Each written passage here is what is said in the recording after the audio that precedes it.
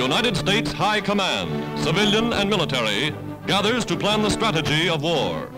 Unusual, informal pictures of the men who are directing America's global conflict.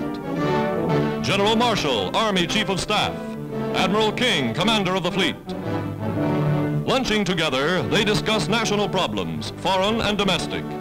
Admiral William Leahy, the President's own Chief of Staff, sits at the head of the table. Well known in many capitals, Admiral Leahy's last post was that of United States Ambassador to Vichy, France. Admiral Land of the Merchant Navy. General Marshall and Harry Hopkins, the President's personal advisor. On the extreme left, General Arnold, head of the Army Air Force, a flying commander who pilots his own ship and often leads a squadron. White-haired Paul McNutt, civilian head of manpower, with Admiral King and Production Chief Nelson. Second from the right, Elmer Davis, who now heads the Office of War Information. The High Command planning America's global war.